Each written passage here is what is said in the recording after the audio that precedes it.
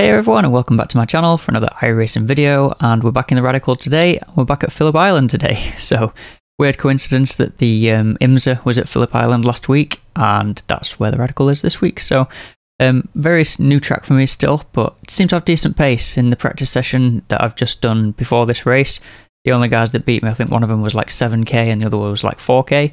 Other than that, I uh, finished third in the practice session. So we have some decent pace around here, um, but this is our second attempt after a bit of a mini death yesterday. So fingers crossed we get on a little bit better this time. Let's jump on in, see how we get on. Alright, we're here in the Radical at Phillip Island.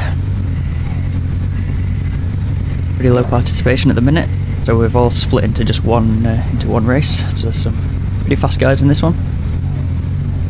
The number 4 car has decided to start from towards back, so we'll look for him trying to make his way through the field. I got an unsafe pit exit through qualifying, so I lost my first flying lap, so... I think with pace I should only have been maybe one or two positions further forward, but so frustrating. yeah, try and keep it on the road for the race, you know how it goes in these things. See if we can grab a result by the end of it. Thank you. Alright, here we go then. Keep an eye out for Sean. And be patient.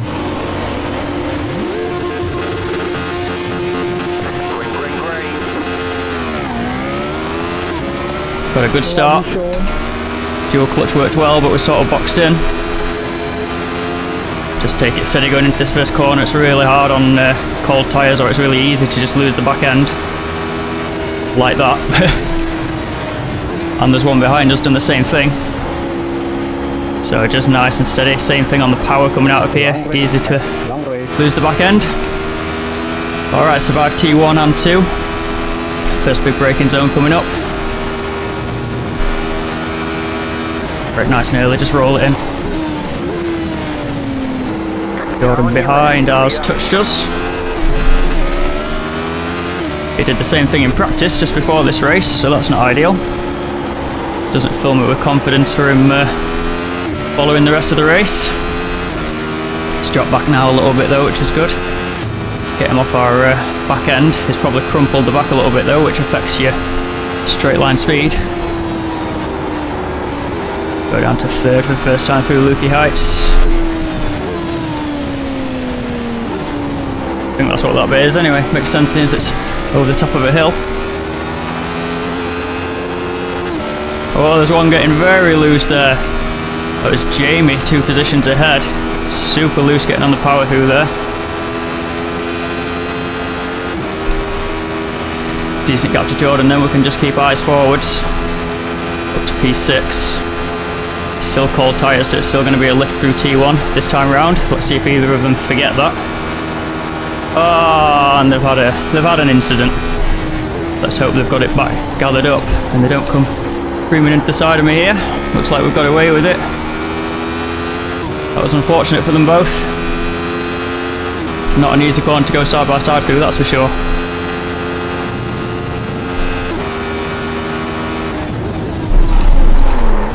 Oh.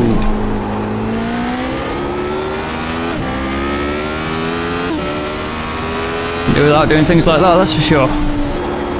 Still cold at the back then. Very cold tyres, not got much grip under braking. And the sun's coming out just to my left there, just to make it added challenge to try and see what's happening. Let's activate full squinto vision.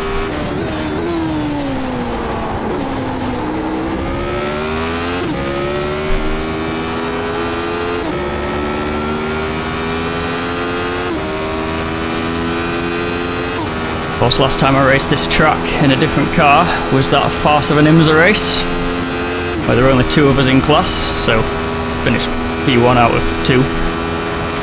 After the other guy binned it early on. Did try this race yesterday as well, and super, uh, super strong strength of field. We were holding our own, we're in P5. P4 dived on P3 coming into this corner here.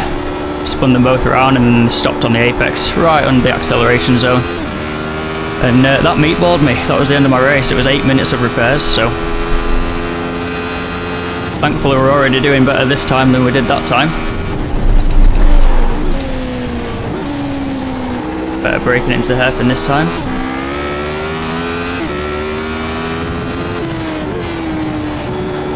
Just keep seeing flashes of the guy behind in the mirror. Looks like he's probably closing in. Alessandro.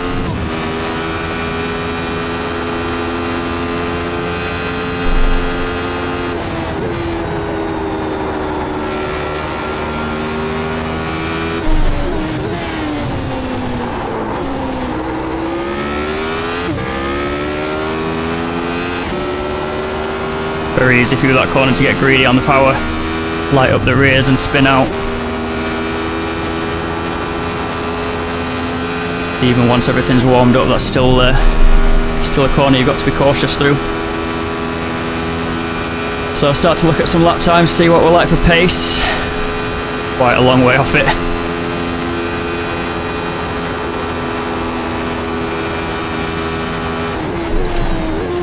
Despite it being a zero zero x contact contact. I'm fairly sure that that little bump at the start the zero x will have uh, crumpled my back end a little bit. I do know just from past races that that does affect your top line speed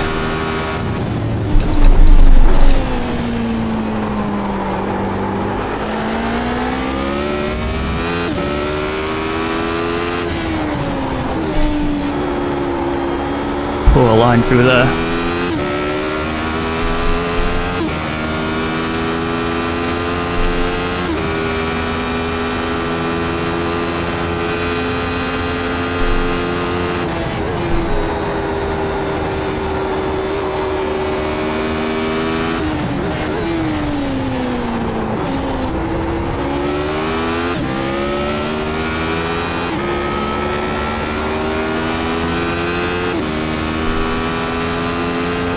So Tucker ahead I think is still pulling away. But I do think I'm also pulling away from uh, from Alessandro behind, which is a relief. Sean in 7th was the guy that started from towards the back. Reckon that he didn't have much pace in these, but they're certainly picking his way through.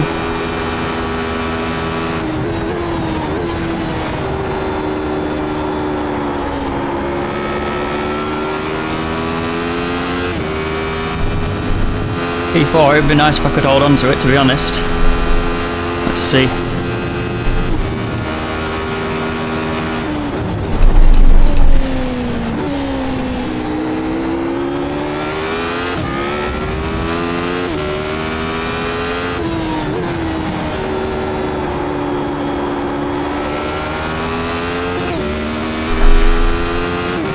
Personal best lap time I think was a 24.4 in practice but I uh, don't feel like I'll be able to get that in the race. I think they were quite optimal for track conditions when I set that. In fact, that was actually in qualifying for the uh, the other race that I was speaking speaking about.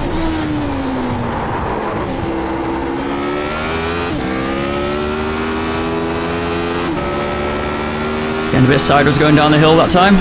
Got away with it though. It's not quite as uh, tense for expecting carnage as Bathurst, but still not exactly a relaxing racetrack this one. Slightest little mistake and you're off on the grass, and we know what iRacing grass is like. Ice.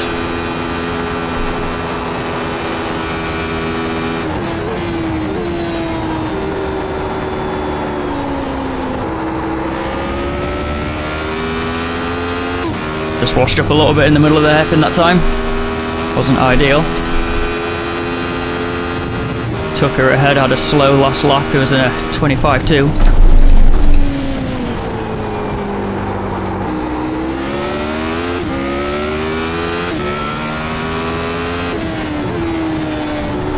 brightness outside my real world window and the cloud cover on the screen is making it very difficult to uh, to see properly here.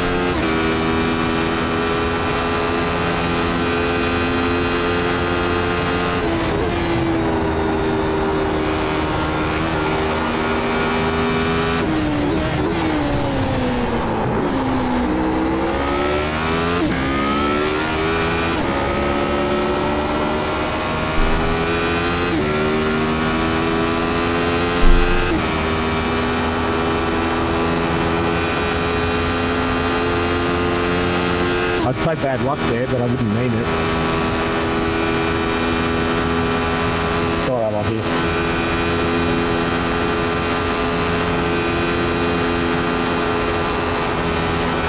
Channel, is doing Sorry, dude.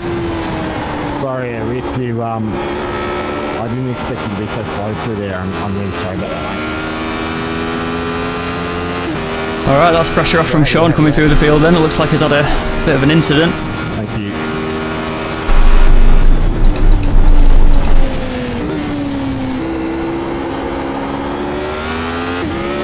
Still not really making a dent on Tucker though, I don't think.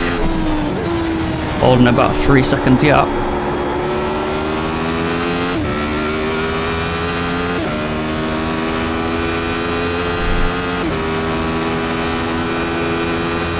B1 and 2 are very close, see if they can keep it clean to the end, otherwise if they came a cropper we might be on for uh, on for podium if something happened.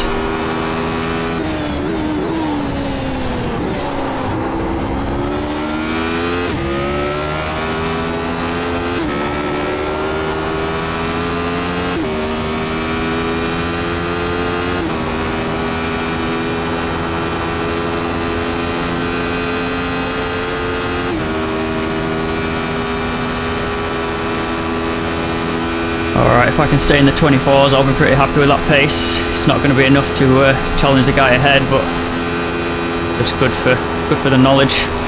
And that's the kind of numbers I need to be aiming for.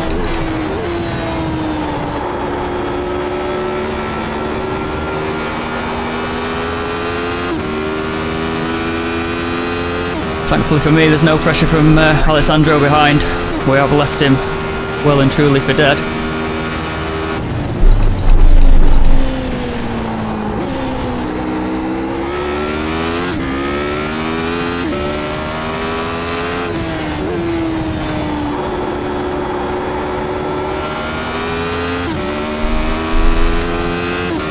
Still a long way to go though, not even halfway. 18 lapper here at Phillip Island.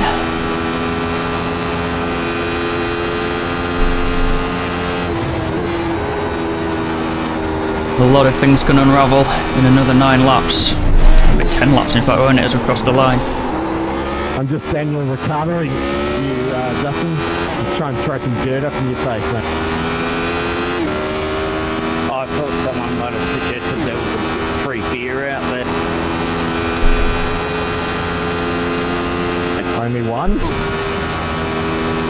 A little bit of time out of Tucker, so I guess with the amount of time that's left in the race, there's potential that we could uh, reel him in, but I'm just going to turn my race and see what happens, first and foremost.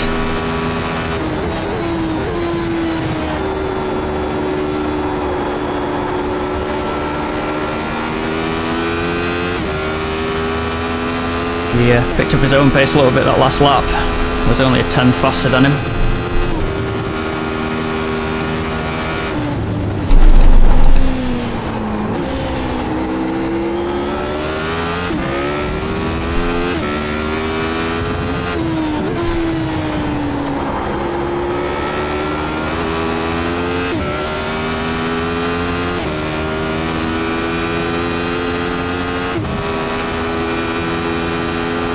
Can't really extract any more pace out of my car, I'm doing everything I can. I think I'm getting a little bit of time on him through this section here, but don't know if cumulatively it'll be enough by the end of the race.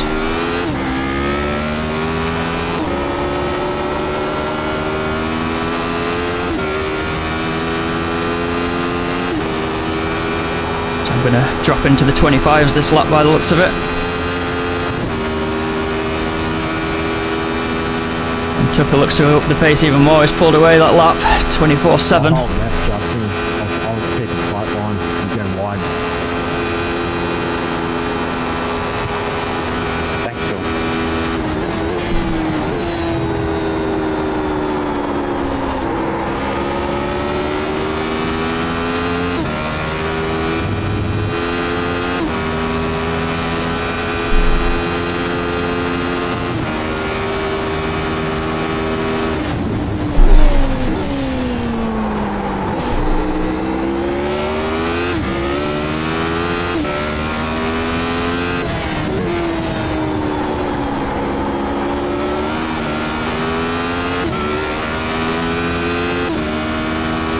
Think maybe Tucker's struggling from a bit of inconsistency because uh, the gap between us seems to be yo-yoing a little bit, and it's nothing that I'm seeming to do differently. My laps are fairly consistent.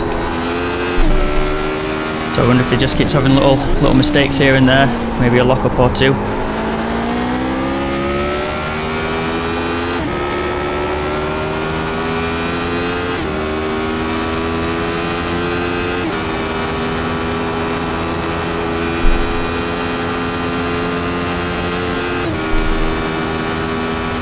Sure that that um, expected damage that I think I've got is actually doing anything to the car because if it was slowing me down in a straight line I'd expect the uh, the delta to be indicating that and it's not doing or at least the uh, the predicted lap time on my dash. So obviously that was set at a time when uh, when the car didn't have damage. So I seem to be holding top end speed so maybe I'm just not driving quite as quick as what I could do but similarly, I don't really want to push it much harder. To be honest, I'm Right. fairly close to the limit. Thanks, man. Appreciate it. You are very fast.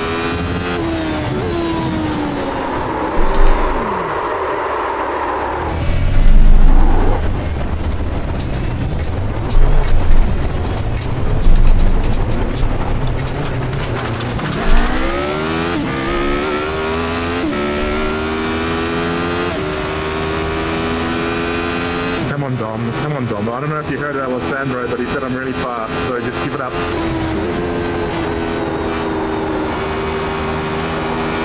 Sean's faster. Everyone let Sean through. Mate, Sean's 17 gears in. He's having it bad. Left. That was not what we needed. Not what we needed whatsoever.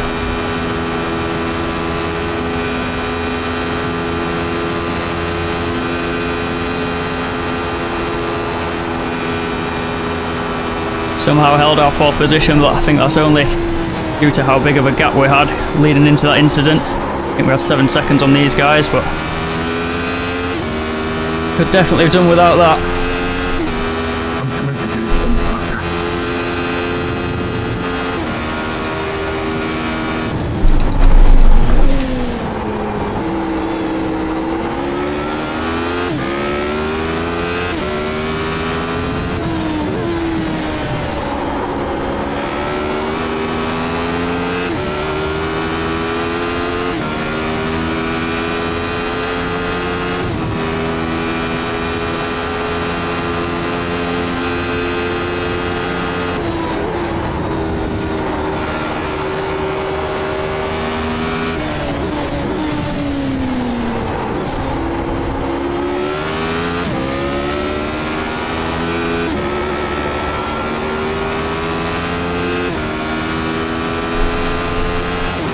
So we're going to have a good fight with Jamie now. Got pace.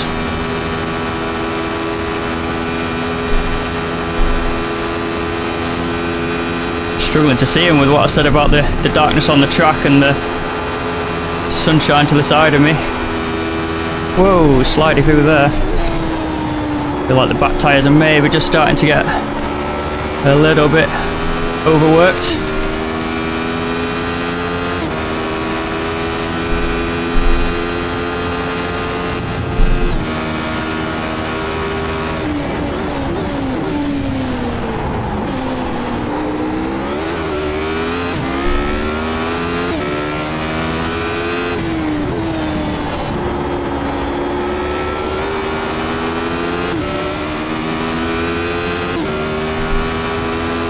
Just about holding him off for now, but I don't think it'll uh, stay that way to be honest. Seems to just have a lot more grip at the higher speed stuff.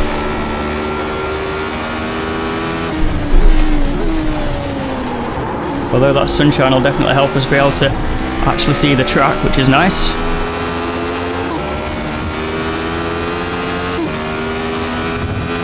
Probably this time he'll be close enough in the draft. Not going to fight too much because we don't want to go side by side into turn one. It's a Recipe for disaster doing that.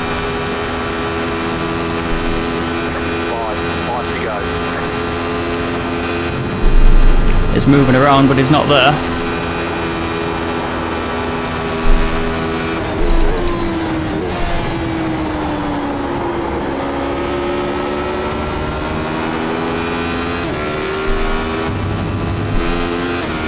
Car's getting super slidey.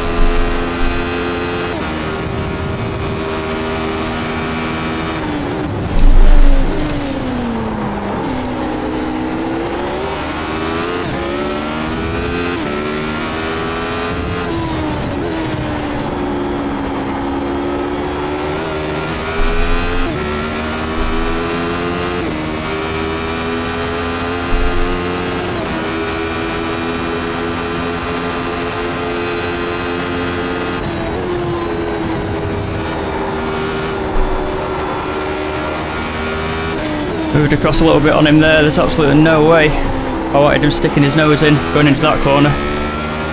He's doing it just to try and put the pressure on, but similarly, don't want to give him an inch and him take a mile and us have a plane crash.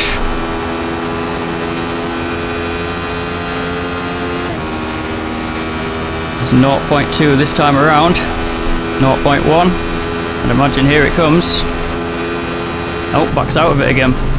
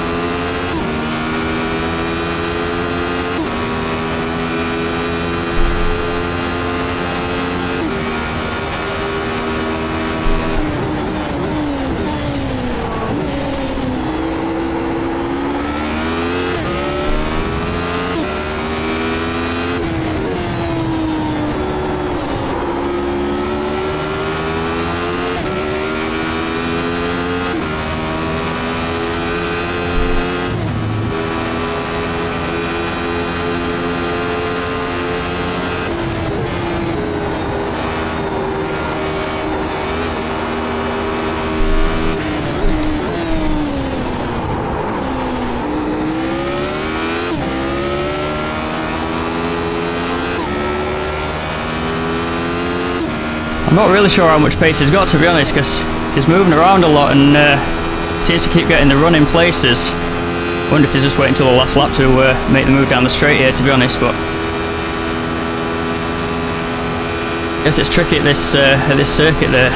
overtaking opportunities, you know, there's not loads of them to be fair. Maybe into the turn three hairpin if you're good on the brakes.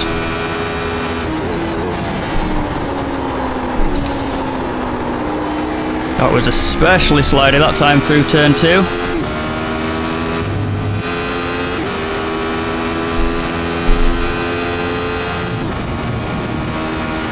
But it keeps coming nice and close like this, but then is he making the move this time? Give him the space. Okay, on the left. Still there, hold your line. Clear on the right.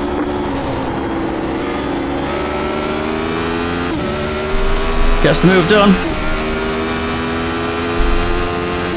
Held him off for a while, but to be honest, I think it was just when he finally decided that he wanted the position, he made the move. Probably just see him run away now, to be fair, which is a shame. Whoa, especially if I run deep like that.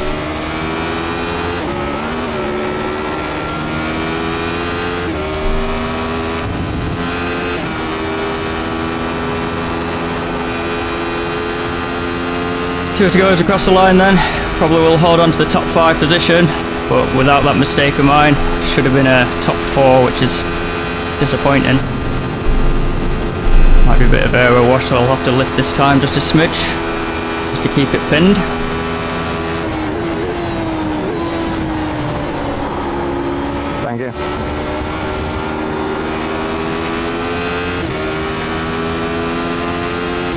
He's not absolutely sprinted clear, which is nice.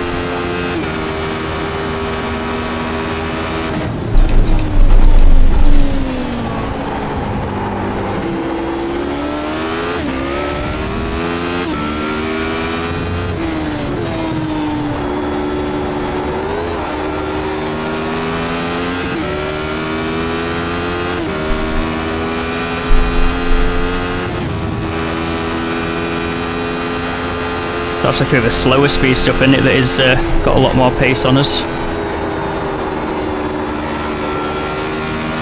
Looks like the kind of the the trail braking late apex hairpins and the um, the acceleration phases is just much stronger through those.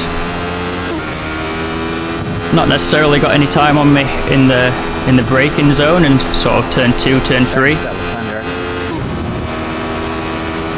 But I'm certainly not going to be able to close four tenths on make a pass in this final lap, that's for sure. So.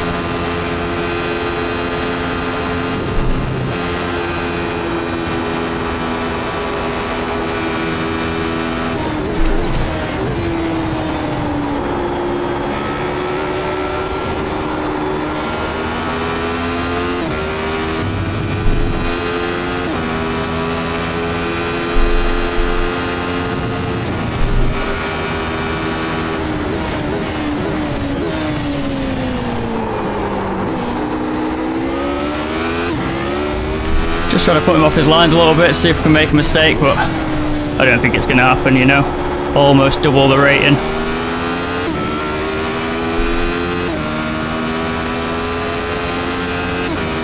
Thanks for the race, guys. You were very quick.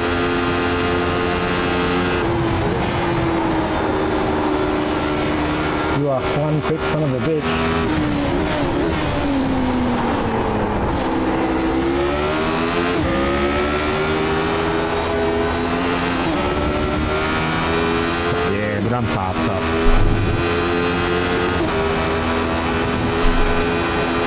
Gonna be a drag race down to finish line then. It's not gonna be close enough though. Direction, Dom. Thanks. Left side. GG. Alright, there's the checkered flag. Frustrating. Good job. Very good job. Got him in P4. That's annoying. Super annoying. Could have been a wall, I guess. Could have been the sea.